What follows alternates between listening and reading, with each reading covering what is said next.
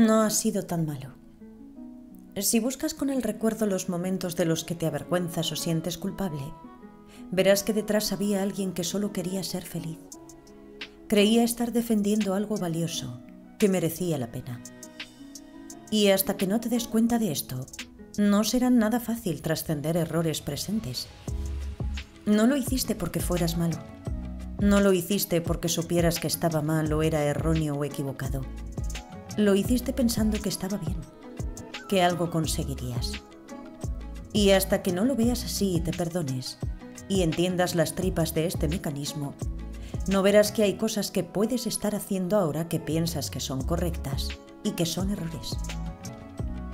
Si piensas que lo hiciste esas sabiendas, no serás capaz de reconocer el hecho de pensar que algo es correcto, valioso o verdadero, no lo convierte en tal y estarás metido siempre en la trampa de tu propia visión, del yo pienso, del egoísmo. Es cierto que no tenemos otra cosa que nuestra mente y comprensión. Todo lo que experimentamos, pensamos, sentimos y vivimos pasa por nuestro filtro único y exclusivo, pero eso lo hace más evidente. No podemos hacer las cosas simplemente porque nos parezcan bien. Estamos condenados a tener que hacer una autorreflexión comparar nuestros valores con nuestras acciones, ver si encajan, ver si tienen un componente ético y solo entonces actuar en consecuencia. Todo esto es solo si luego no queremos arrepentirnos y llevarnos las manos a la cabeza y sentirnos culpables. Por un lado es como ese aspecto de la conducción en el que una vez que aprendes a hacerlo, no se olvida y hay aspectos de él que se integran y se vuelven automáticos. Por otro lado, hay que estar siempre alerta y pendiente, porque en cualquier momento puede surgir un evento que te saque de tus casillas o que requiera revisión y alerta inmediata. No estás solo, hay otros que conducen en la carretera.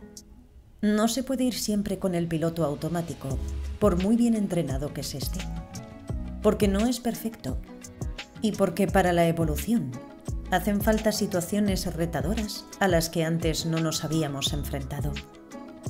No somos máquinas programadas, aunque a veces lo deseáramos. Somos en constante transformación.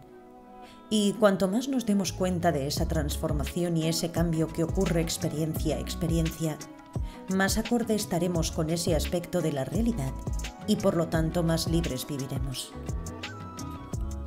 Por otro lado, si no somos capaces de ver que lo que hicimos es porque pensábamos que nos traería algún grado de felicidad, no seremos capaces de ver el hecho de que todos, incluidas las personas que más daño nos hacen, quieren eso mismo también, ser felices, a pesar de que a veces su conducta, al igual que la nuestra, no conduzca a ese resultado.